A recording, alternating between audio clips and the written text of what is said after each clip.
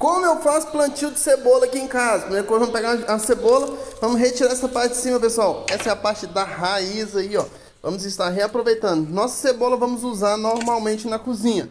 E agora vamos começar o nosso plantio reaproveitando as raízes da cebola. Aqui eu estou utilizando terra vermelha, essa terra de barranco que todo mundo fala que é ruim para plantar. Misturo com esterco bovino, faço uma boa mistura aí, deixo curtindo por aproximadamente 30 dias, já está perfeito para plantar. Agora eu vou estar utilizando as raízes da cebola para estar plantando. Se você gosta desse tipo de cultivo, deixa o seu like aí para ajudar no vídeo e também comenta aí de qual cidade você está vendo esse vídeo. Pessoal, você pode estar utilizando a cebolinha, tá colhendo e também a cebola futuramente. Como vocês podem ver, tá o nosso plantio. Ali tá a cebola engrossando para formar outra cabeça de cebola e vamos colher a cebolinha enquanto isso não acontece. Vamos deixar também o nosso sistema de irrigação automático aí preparado. Se você gostou do vídeo, se inscreva no canal para mais vídeos como esse.